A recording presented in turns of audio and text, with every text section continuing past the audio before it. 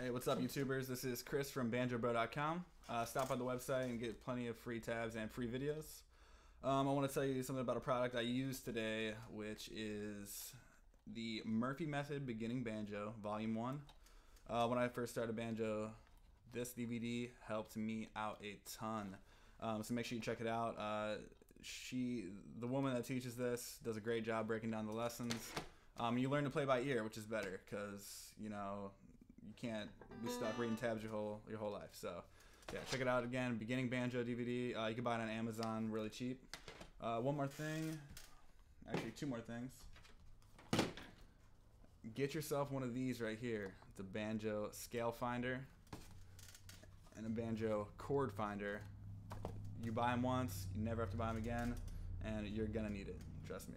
Another thing I bought was the Snark Snap-on tuner for my banjo. Uh, it's really cool. I don't know if you can see right now, but if you look at the face, it looks pretty darn cool.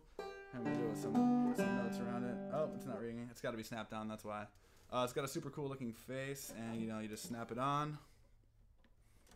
So, see if you can see that. Really cool, really cheap. Um, I think I got all this stuff when I first bought my banjo for like you know, under under 40 bucks on Amazon or something like that. So uh, make sure you check out all those products and uh, stop by banjobro.com so for more lessons. thank you.